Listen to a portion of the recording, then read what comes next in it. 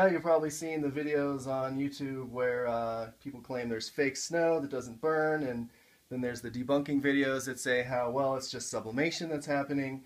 Um, well, here I'm going to try and experiment because I don't necessarily believe that sublimation is actually what's going on, and actually it's just the snowball is melting, and uh, because the snowball is porous and full of air, the water is actually just wicking into the snowball um, until eventually it melts into complete water. So, got some tongs here, got a digital scale. I'm going to use a propane torch just for efficiency because it's uh, a lot hotter than a lighter and a glass bowl. So, I'm going to start by turning the scale on and wait for a minute.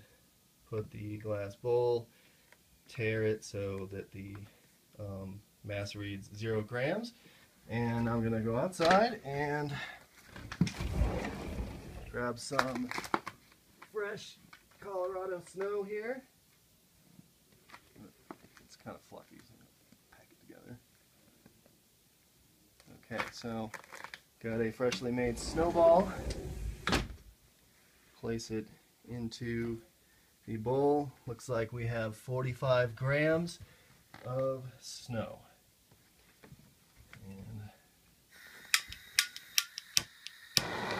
start the propane torch, pick up the snowball. Now this is the part where people say that the snowball is sublimating. And if that were happening, we'd expect the mass of the snowball to be less when we put it back in the bowl. But in fact, it is not. It is still 45 grams.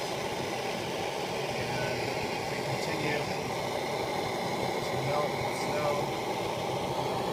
Still no water. Okay, now we're starting to see water. Fill the bowl. Still 45 grams.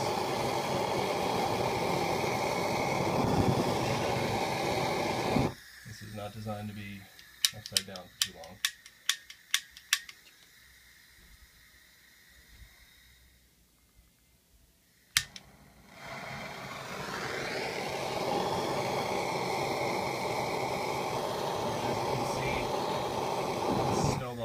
Pretty much completely melted, but the scale still reads 45 grams. So I suspect that if there was any sublimation happening, it's certainly not very much.